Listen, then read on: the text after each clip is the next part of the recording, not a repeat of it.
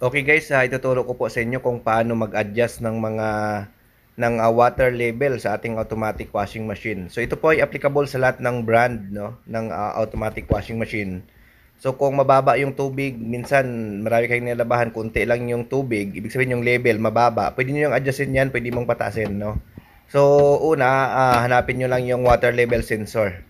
No, 'yun ang kailangan yung hanapin, no. Tulad nito, uh, ito ay Panasonic na sa likod. So usually naman nasa likod yung water sensor. Ayan, no.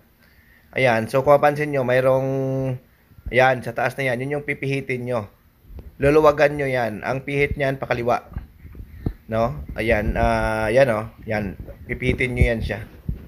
Okay guys, sa mga hindi pa nakapag-subscribe sa channel namin, subscribe po kayo at marami pa kaming videos na ilalabas, no? about uh, automatic washing machine at ibang appliance. So yan, uh, adjustin nyo yan.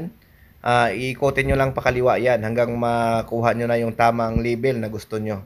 So pwede yan pababain, pwedeng pataasin yung label. Ayan, no?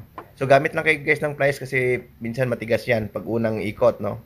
Ayan, so pag lumambot na, ayan, ikotin nyo lang yan ng kamay. I-adjust nyo lang siya.